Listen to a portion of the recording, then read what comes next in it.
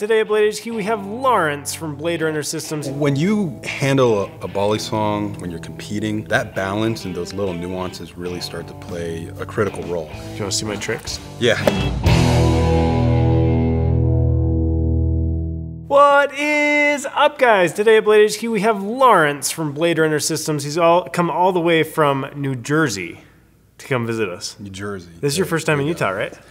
Uh, it is, yeah. And uh, you just had a, a fine Utah staple. I had uh, fry sauce. And? With, um, I had a Utah burger with fry sauce, and I poured more fry sauce on it, and it was amazing. Yes. Yes. He's been initiated. Now we're going to talk knives. The the reason we wanted to have Lawrence on was to kind of learn your story, the, the Blade Runner Systems, the BRS story, and also to look at some of your knives and how they relate to that story. So, where did you start, Lawrence? What's what's the story, man? Uh, you know, I started a lot like um, probably the people watching this video. Um, I've always had a passion for knives since I was a, a young kid. And then I fell out of it for a little bit, but when YouTube and the internet started to, you know, have a lot more social media presence, I started looking at reviews, started looking at them again, and re, you know, kindled that interest. And um, I found my way into the the balisong, and shortly after started, you know, got my first one, started flipping, found a small little niche community, and uh, before you knew it, I was just completely uh, consumed by it. Nice. I, I just I loved it. I, I just obsessed about it. I wanted to make new tricks. I wanted to learn every trick. I started, you know, um, competing with other members of the community, uh, and and that's kind of where I met uh, Ed, uh, my partner, co-founder of uh, Blade Runner Systems, and just kind of, you know, went from there. so you guys kind of started talking, you and Ed, and you said.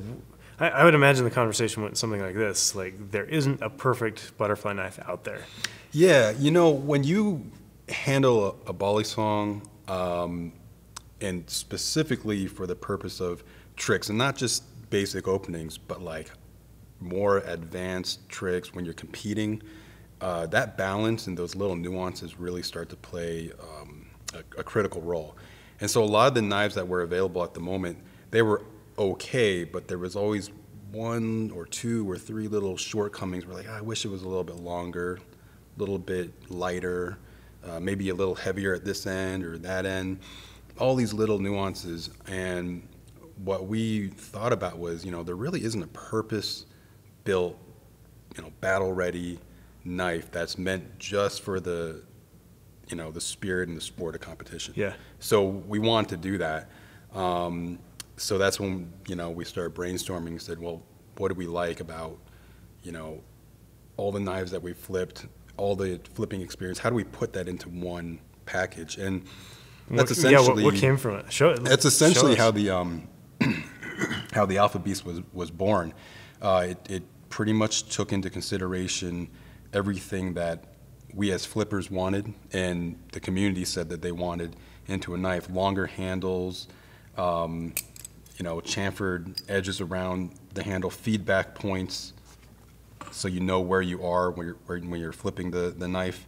Every single thing in the design of, of our knives is uh, it's not just for looks. Everything served a purpose for the flipper. So um, even these little chevrons, which we're kind of known for now, Yeah. these were originally put here so that when you start flipping, uh, you know where you are because certain tricks you have to be closer to the pivots, other ones Oh, you have to be interesting. further. Yeah. So this is actually uh, for reference so that as you're flipping, you know where you are. The slot was for balance and weight distribution, but also when you're holding it in your hand, it serves as kind of a, a point where you can grab it. And the handles have a little bit of a, a, a chamfer so that it's easier in the hand, but also so that you have enough like uh, torque when you do certain tricks.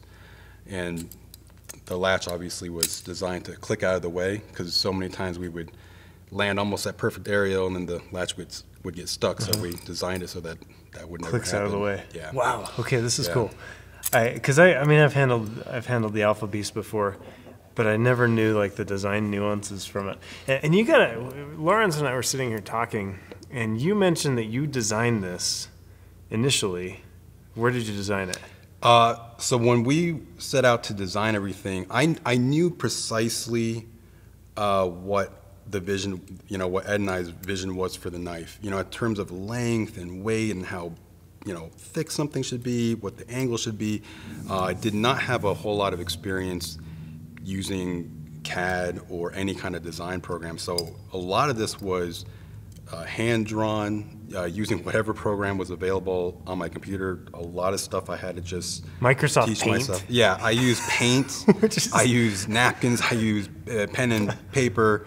Um, you know, whatever I could to communicate the original design to the manufacturer we had at the time to get it right. And and you know, we had to obviously get them to kind of put that into uh, design language, Sure. right? But uh, but I think the the key was we knew our vision very well. Yeah. We knew this is exactly how it has to be. It really can't stray um, away from from this vision.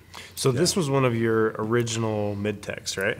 Yes. So uh, we in- initially launched with uh, 12, and then we made 20 more. This is part of that second release. Nice. Um, you know, this is like really the origins of, of the of the That's so company. cool. uh, before we went on to production, this is actually the first Alpha Beast that came off the production line. I thought to bring it alongside this one because it kind of progressed from Yeah, mid tech totally. To pro- to the production. I, I think even the the mid tech one, there's a there's a finish to this production one that just feels really nice. Um, Yeah. Just the chamfers are a little smoother. The the overall feeling to it is really nice. The products have, as they've progressed, have become a little bit more refined, a little bit more fine-tuned, but it never lost any of the the core and the critical performance aspects that we we want in the in the knife. The the balance is the same, uh, all the features are the same, but yeah, you know, it might just have a little bit more refinement as as we've um, as we've progressed up the line. Nice. Okay, so this this is kind of your origin, somewhere in the middle. Show us this one and what's So changed this is the um, this is the more of the future. So we originally wanted to design the Alpha Beast as a channel uh, balisong, where this one is sandwich construction. and whereas that sandwich, yeah, and Can you give me like a five second? What is sandwich yeah. versus channel? So the main difference, um, I'll hold this up it. here. So if you look at both these handles here, the sandwich is going to be one uh, piece of a handle, a spacer in the in the middle, right here. That's going to hold them together, and then the other handle slab on the other side, and it's all held together, you know, with with screws. And there are some ad- advantages of, of designing a balisong this way. Uh, a channel balisong is just one machine piece of titanium. which takes forever, expensive, right? It's going to be more expensive, um, but the flipping characteristic of it is just something that if you're if you're into flipping, even if you're you know a casual knife user, you can tell right away that it's just this solid piece of tie. It gives like a certain ring and sound to it. Nice. It's got this really distinct characteristic that um, some people really look for in a in a channel balisong. So you can see this. Uh, another distinct uh, characteristic is this whole side because you don't have this space. Yeah. It's all filled. So when you're flipping it, you can you have all that surface area. Feels really really slick. Sweet. Yeah. Love it. So these are not cheap, Lawrence. The, we're talking your your knives. We'll talk about the bare bones in a minute, but the bare bones is what over two hundred bucks, right? Uh, the trainer's 200. The live one's 225. And we're talking an Alpha Beast is in the four hundred dollar range, It's right? It's gonna start at 370 is where we have it. Yeah. So I mean that's that's a ton of money. I'm just gonna say it. How can you describe for somebody who doesn't really know this culture? Why would somebody drop so, So- much money on? So I was asked song. that um, uh, a bit at, at, at Blade Show for people who weren't as familiar with the pricing in, in our product. And um, the main thing is number one, it's it's all titanium handles, Yeah. titanium titanium spacer, titanium latch, heat treated steel hardware, and we also use heat treated steel bushings. Uh, the steel is 154 cm. It's also heat treated. It's really built to be used. Yeah. You know, and, and we obviously have a lifetime uh, limited warranty on, on all our products. This is the first one that came off the assembly line, right? And I flipped the heck out of it. I mean, this thing's been dropped on concrete. Uh, I don't shy away from, from using this one. Uh, you know, it's got to be what five, six years old now, and you can you can tell like I didn't Yeah. bring a perfectly shiny. I mean, you know, this Yeah, one's was new, but beautiful. I didn't bring a perfectly shiny one because these really, and when we say they're battle ready, they're battle ready. Like they're they're designed to be flipped. Yeah. And for that, uh, for that level of quality, that's the reason why they're priced maybe a little bit higher than what someone might be accustomed Sure. to paying for a for a balisong. Yeah, I, I would almost. I think for me personally, it's if you're into bicycles, you can buy a hundred dollar bicycle at, at Walmart, Yep. and you can be perfectly happy on it. Yeah. But you can't get a good bicycle for a hundred dollars, and I think Right. balisongs butterfly knives are the same way, where you really have to start. You, have to make a jump from Yep. a fifteen dollar Carnival balisong, which hey, that's a great great way to get into it. And But you know, we make all our products so when someone picks one up, they're just like, okay, yeah, I, I get it. Like Yeah. if you jump from, I don't know, like a budget car, and then you go into say a, a Rolls Royce. I don't think anyone's going to be like, I don't see it. You know what I mean? And so for our products, we can we safely call this the Rolls Royce of, I, of I would like to. I would like to to, to believe so. I I, mean, it. that's that's our mission, so that when you pick it up, when you flip it, when you're using it, uh, you don't you don't want to flip anything else. Like Yeah. you immediately know and adapt, and it like it, it speaks to you. Yeah. You know, um, our products are pretty much every bit a part of our own uh, selves. You know, and are it's like a manifestation of what who we are as flippers. Yeah. You know who we are in the community, and um, like it may sound kind of weird, but I feel like we can put that in a product. And I've had a lot of people come up to me and say, you know, I, I flipped the uh, replicant, the Alpha Beast, the Bare Bones, and it just nothing else was like it. Like this is what this is what I want. Nice. You know, and that's really our mission. Is that uh, yes, is it you pay a premium over maybe some other knives? Yes, but we want it to be that as soon as you use it, you know why Yeah. that that's the case. Totally, that makes sense. So, talk to me about the other knives in your line, the, the other valleys in the line. So after um, Alpha Beast, we went and we did the replicant. Now this one is also a prototype. This is a hybrid replicant. We call it that because the standard replicant has G10 scales over a tie liner. This has a titanium uh, scale over a titanium uh, liner. But we went to make a knife that had the G10 and titanium uh, combo because it gives a different feel, like a little bit more of a neutral balance. Uh, it also allowed us to give it a, a slightly different handle contour. Uh, some people like a, a, a fatter, like a thicker, and um, a little bit higher stacked handle setup. Okay. So that allowed us to to do that. Um, This one's beautiful. yeah, it, I'm, I'm really excited about that. And, and the standard replicant um, is, is just such a, a great all around uh, balisong. It just performs super balanced, um, not too heavy, not too light. It's, it's like, I call it kind of our, our all arounder. Kind of a Goldilocks. Yeah, exactly. And that was kind of the mission is to make something that uh, was very similar to the Alpha Beast, Yeah, but had its own distinct handling characteristic. nice.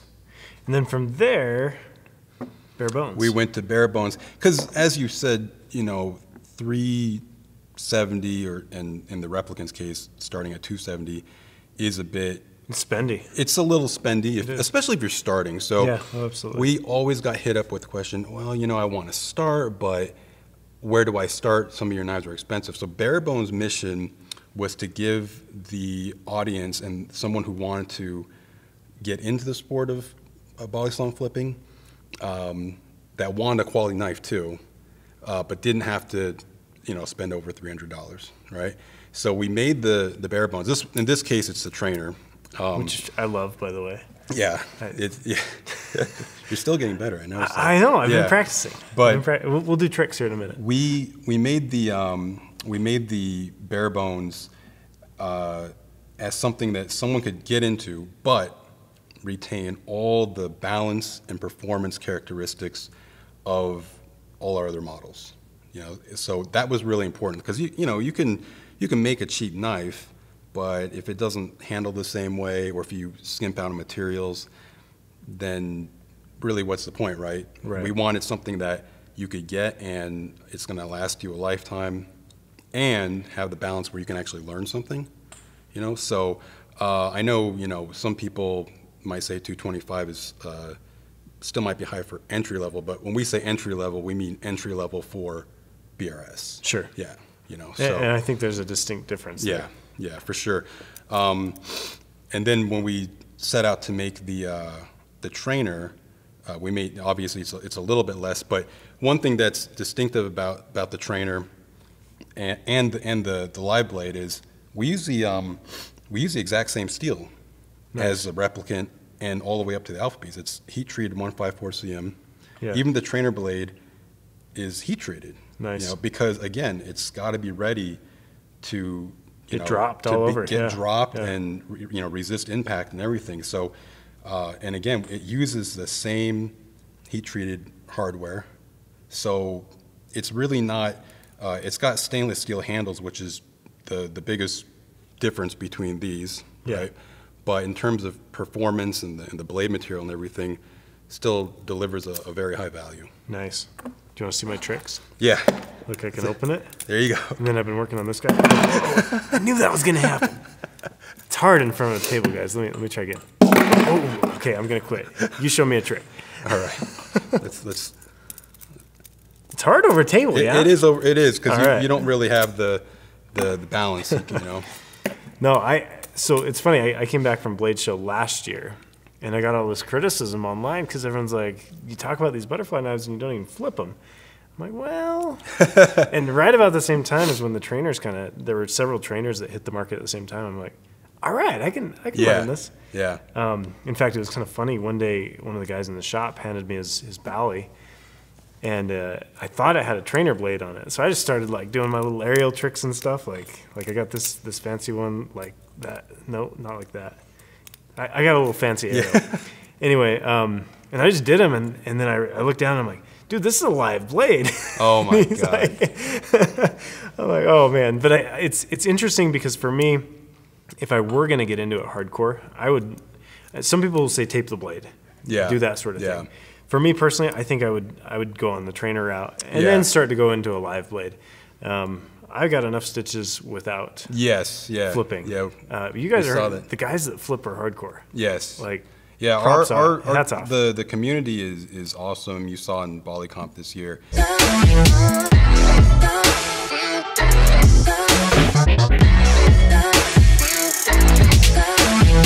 Uh, people really really push the limits. So. Yeah. Um, the sport's continuing to progress. Our products are continuing to progress, and um, you know, I see that as kind of something that uh, goes side, you know, hand in hand. I mean, Yeah. the, the origin was was from feedback of the from the community, and the progression of it was also from feedback and the progression of the community. You Yeah. know, so Love it. that's a huge part of our story, and we want to we want to keep it that way for sure. Love it. So we we brought Lawrence. Lawrence came out and he actually brought uh, Bill Boyd with him as well. Yes. Bill, come on camera, man. he doesn't know this is happening. He, he's been standing behind the, the camera the whole time. So so Bill is one of the flippers in the community, and uh, he has no idea that what's what's happening. In fact, his face is red because he didn't know this was about to happen. Um, but Bill, like, why do you flip a BRS knife versus something else? Um, I can trust it, you know. Um, I'm flipping over concrete quite a bit. Um, I don't have to worry about them breaking primarily. Um, quality for, for value. Nice. Will you uh, will you do a trick for us? Sure. Here, give, give these good people a good trick. Good trick. Oh man. It's kind of a cramped space. I, I recognize Putting that. him on the spot. He, he performs under pressure though. I know. Look at that. yeah, yeah. Look at that. I love it. That was a good trick. See, that's what I was trying to do, guys. I just Yeah, yeah, yeah. That's that's what you meant. No, that's super Yeah. cool. Bill also loves he loves knife banter. So Yes, Bill, I'm you've a been on huge fan. you're on knife banter. Where can they find you on the internet? Um, you can find me at Serbilium with an underscore on Instagram. Um, you can find me at Serbilium on YouTube, and that's about it. Love it. Lawrence, where can they find you on the internet? Uh, BladeRunnerSystems.com at Blade Runner Systems on uh, Instagram and Facebook, and uh, we have all our updates on our website, Solid. social media. Yep. There it is. Guys, if you have questions about balisongs, leave them down in the comments. Lawrence, I'd imagine you're on YouTube. You can jump in there, answer a few of those. Yes, absolutely. um, that sort of thing. Honestly, guys, if you are serious about butterfly knives, about balisongs, this is where you're eventually going to end up, is with a BRS in your hands. So check them out. You can buy them at bladehq.com. Guys, we'll have another video coming out for you next week.